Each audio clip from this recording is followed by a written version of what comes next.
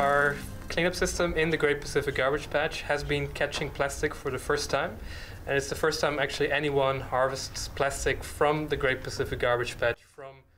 Ça fait plusieurs euh, années qu'on vous parle de- du projet Ocean Cleanup, dont l'objectif, c'est d'aller nettoyer l'océan Pacifique de son plastique. Bien, cette semaine, on a annoncé que le projet était enfin fonctionnel.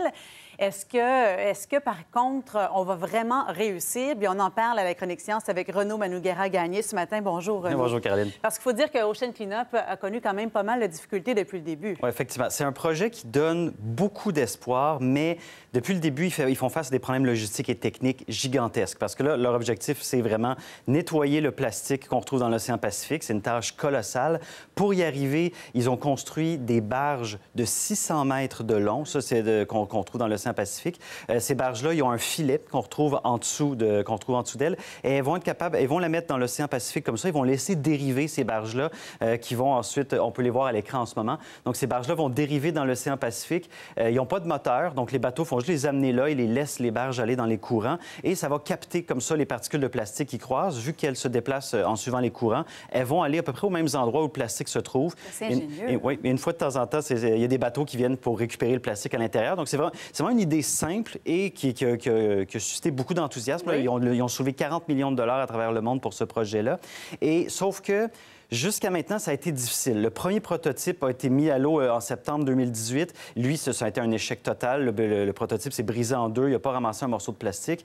Mais là, ils sont retournés sur la table à dessin. Ils ont refait leur système. Et là, ils l'ont mis à l'eau. Et puis, cette semaine, on a appris qu'ils nous ont, ils ont annoncé à tout le monde, non seulement ça fonctionne, mais ils ont réussi à capter du plastique euh, de toute taille, dont des microplastiques. C'est des particules de moins d'un centimètre de long. C'est ça qui cause les plus gros problèmes pour l'environnement. Donc, eux sont très encouragés par ça. Et là, la prochaine étape maintenant, c'est de construire une flotte de ces barges-là. Ils veulent en construire une soixantaine. Et leur objectif, c'est de récupérer 90 des déchets dans l'océan Pacifique d'ici 2040. Ok, C'est énorme? Oui. Est-ce que c'est possible? Ben, pour beaucoup de scientifiques, c'est un beau rêve, mais c'est vraiment un rêve improbable. D'abord, si on fait juste penser à la quantité de plastique qu'il y a dans l'eau, juste dans l'est du Pacifique, où est-ce qu'eux, ils sont en train de travailler, il y a 80 millions de tonnes de plastique qui se retrouvent dans une, sur une étendue de la taille du Québec environ. On C'est peut même pas gigantesque. se l'imaginer. Non, c'est ça. Ça, c'est, ça, c'est une région. Il y a une carte qu'on devrait voir dans quelques instants. Là, c'est de- il y a six de, de- de ces régions-là dans le monde. là. Ça- on voit ici, là, ça, euh, eux se concentrent dans l'est, du, dans l'est du Pacifique, juste à côté de la Californie.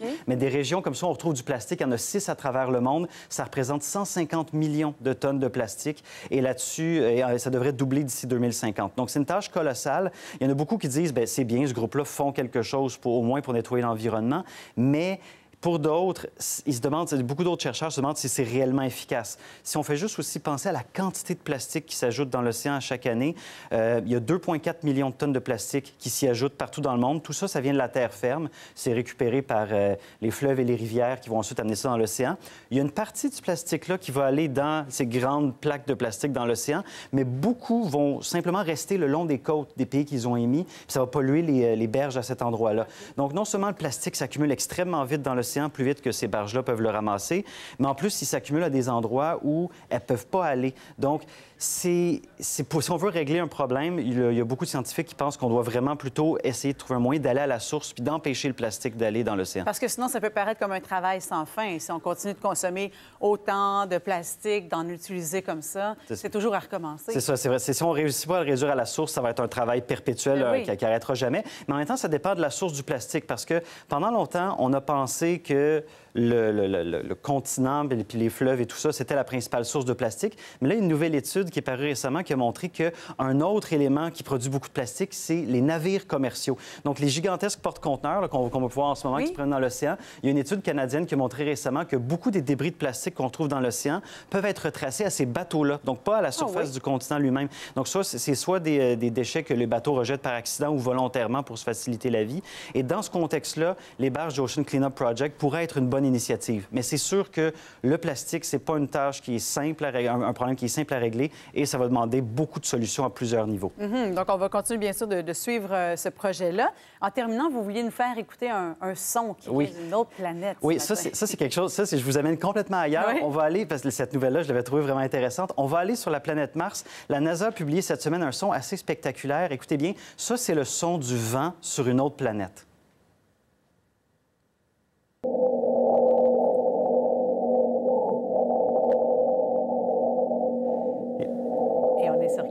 On est sur Mars, là, en Sur ce moment. Là. Donc, ça, c'est Wow. juste le bruit du vent. C'est quelque chose de très simple et moi, je trouve ça vraiment exceptionnel. Ça vient de la sonde de, de la NASA InSight qui est sur Mars depuis l'année dernière. C'est sûr que c'est moins entraînant que ce qu'on entend à la chronique culturelle, mais moi, juste le fait que les bruits viennent d'une autre planète, je trouve ça vraiment incroyable. Euh, c'est sûr, un fou de la science comme vous. Moi, ça, moi, ça- moi, ça me va. Moi, j'aime ça. Mais c'est vrai que c'est assez particulier d'entendre ça. Merci beaucoup, Renaud. Ça fait plaisir. À bientôt.